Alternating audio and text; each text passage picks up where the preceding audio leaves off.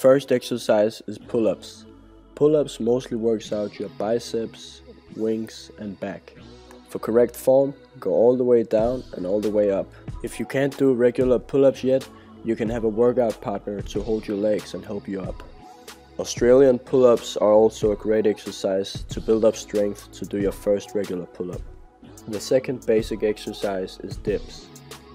Dips works out your tricep, chest and shoulders. For best form, go down to about 90 degrees with your elbows and all the way up. A good way to build up strength for doing dips is doing negatives.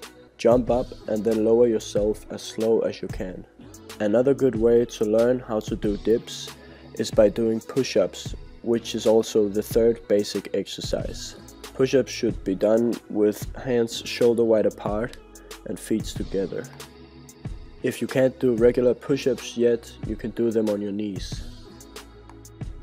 The last basic exercise are squats.